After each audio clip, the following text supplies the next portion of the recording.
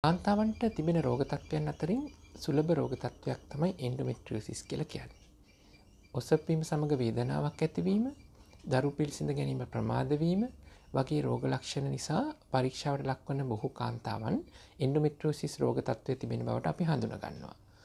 ඉතින් එන්ඩෝමෙට්‍රෝසිස් කියල කියන්නේ ගර්භාෂය ඇතුළත බිත්තේ කැන් එන්ඩෝමෙට්‍රියම් කියන ස්තරේ තිබෙන සයිල ගර්භාෂයෙන් පිට වෙනයම් ස්ථානයක තිබෙන තත්ත්වයක්. මෙය අසාමාන්‍ය තත්ත්වයක් එකැන සාමාන්‍ය ගර්භාෂයෙන් ඇතුළත බිත්තිය සයිල වෙනත් ස්ථානික පිහිටනි නැහැ. එනිසා එන්ඩෝමෙට්‍රියෝසිස් රෝගතත්වය තිබුණම උදර කුහරේ ඇතුළත ඇලීම් ඇති වෙන්න පුළුවන්. එතකොට පැලෝපියනාල අවහිර වෙන්න පුළුවන් එම නැත්තං බඩවැල් සමඟ ගර්භාෂය ඩිම්බකෝෂ එකට ඇලෙන්න පුළුවන් ඒ වගේ සංකෘතා ඇතිවෙන්න පුළුවන්. මෙහිම සංකුලතා තිබෙන කාන්තාවකට සමහර වෙලාට දරු පිරිසිඳ ගැනීම ප්‍රමාද වෙනවා.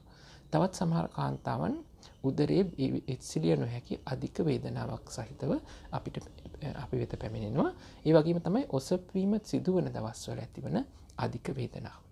ඉති මේ වගේ රෝග තත්ත්වයන්ට සහනය දෙන්න නම් අපි එන්ඩමිට්‍රියෝසිස් කියෙන් තත්ත්වය පාලනය කරන්නවා.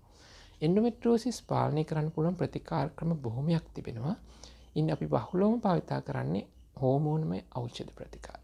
මේ හෝමෝන ඖෂධ එක්ක එන්ඩමිට්‍රියෝසිස් තත්ත්වය තරමක් දුරට පාලනය කරලා තබාගන්න පුළුවන් නමුත් අවීන හෝමෝන් අවෂධ වර්ග ඒවත් එක් අපිට පුළුවන් එන්ඩමෙට්‍රසිස් හැක් සයිල හැකිලීමට ලක් කරන්න.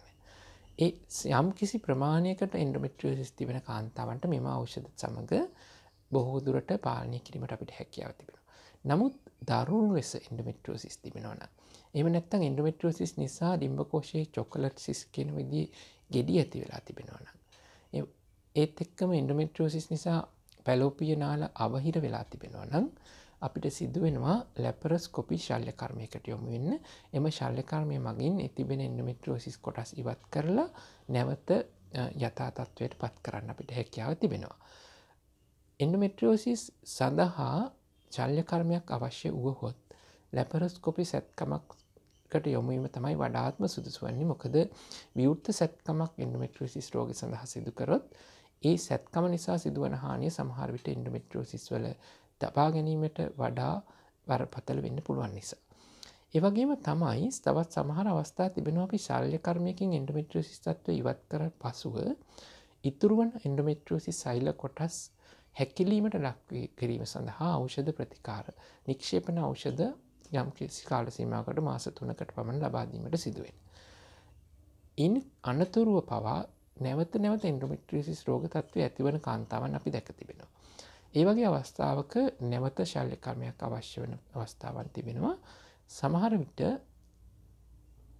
පාලනය කිරීමට නොහැකි තත්ත්වයටම දරුණු එන්ඩමිට්‍රෝසිස් රෝග තත්ව තිබෙන විට ඩිම්බකෝෂය සහ ගර්භාෂී ඉවත් කිරීමට පවා සිදුවෙන අවස්ථා තිබෙන්න පුළුවන්. නමුත් යම් කිසි ප්‍රමාණයකට එන්ඩමිට්‍රෝසිස් තිබෙන විට ලැපරොස්කොපි සැත්කමක් මගින් එ සාර්ථකව ඉවත් කර වේදනාව අඩු කර ගැනීමටත් නැවත දරුඵල ලබා ගැනීමට උත්සා කිරීමටත් ඔබට හැකියාව තිබෙනවා.